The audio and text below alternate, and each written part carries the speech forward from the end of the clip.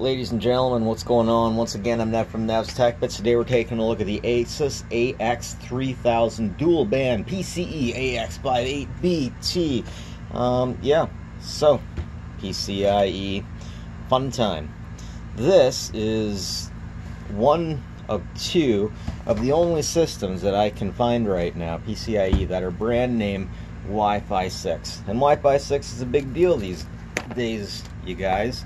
Although, the difference between the speed in Wi-Fi 6 and 5 isn't as dramatic as Wi-Fi 4 and 5.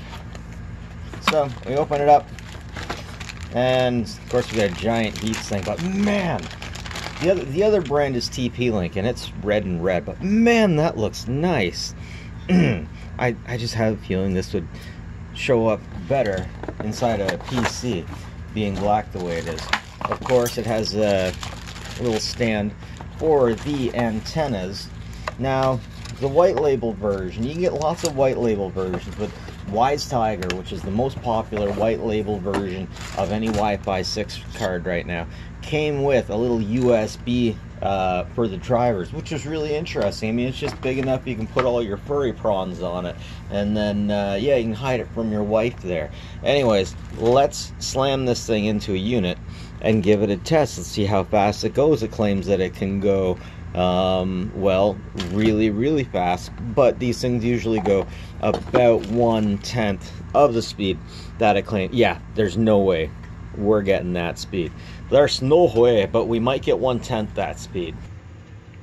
Okay, so this is my server system. I already have a Wi-Fi 6 card plugged into it, but I want to swap it over and use the brand name. So the other very popular Wi-Fi 6 card you can get is TP-Link, and I want to compare this to that. You can see the heatsink is definitely a lot smaller on the Asus unit.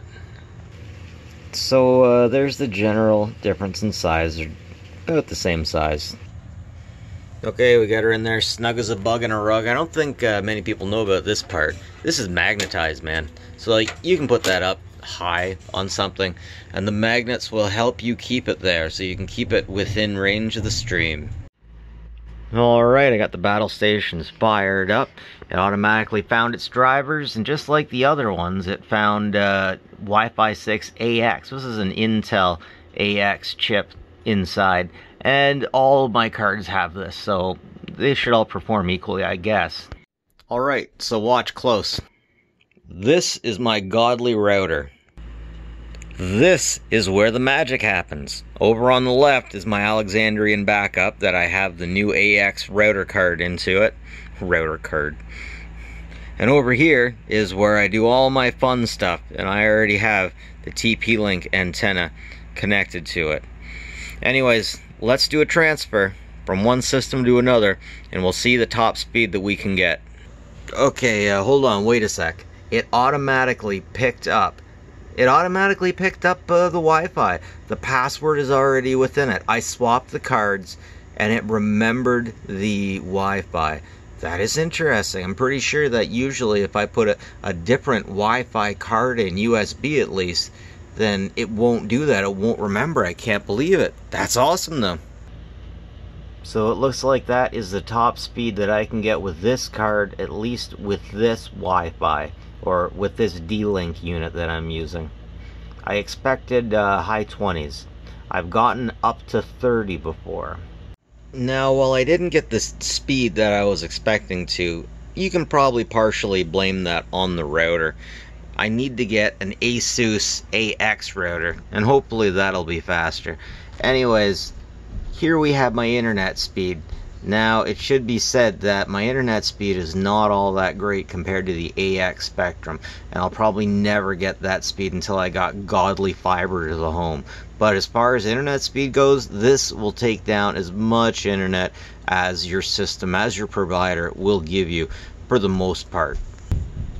160,000 megabits is what we can transfer locally. So it would be great if my internet provider could give me that. And that's, imagine you could actually get that fast on the internet. That would be great.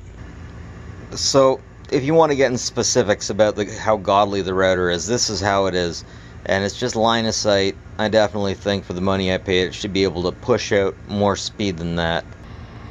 At the same time, it should be said that these aren't particularly bad numbers, really. Alright, so check this out. The only thing that I changed to get this result is I plugged one system in with a Cat6 cable directly to the router, and I'm getting 104, 104 megabytes a second over the Wi-Fi, over the AX. That's amazing. Sploosh, that makes me wet. that is so cool. So once again, all that I had to do to get the, the difference here is plug one unit in to the network with Cat5e at least. But seriously, this is so cool it shows us that the load or how it will perform is going to be vastly different if you get two systems on the Wi-Fi 5. It's immediately going to uh, nerf the speed of it by four times. Alright, so the final verdict. Well, I can tell you that Asus makes really good products to begin with. I can, I can also tell you that all of these Wi-Fi AX cards that I have uh, purchased all seem to have the exact same chip on board. In fact, once again, I swapped these out and it remembered the Wi-Fi and uh, didn't even realize, didn't even seem to realize it was a different board at all. So all that these are are just silicon with a brand on them and they taken the Intel Wi-Fi card and they slammed it in there and then they all did their own take on it basically. So I believe that due to due to age, due to heat and expansion, the Wise Tiger one might break apart quicker. Um, but they all seem to be basically the same thing except we get the rabbit ears on this, which is freaking great. And then we get a, a, price difference of about 50 bucks. But still, Asus, they make really good Wi-Fi. They don't particularly make the best computers anymore, but the Wi-Fi is solid. I like it. Is it worth it? You can definitely find cheaper things, but this is the only black one that looks really good inside of a computer. And I'm going to keep using it in my system. The Wise Tiger is going to be passed on to the next one, so... Uh, I'd say you're probably going to get the same money if you get a TP-Link. Once again, it's all the same chip on the inside. But that's it from me, folks. Like and subscribe if you like this stuff. It's always appreciated. And folks, take care of each other, please.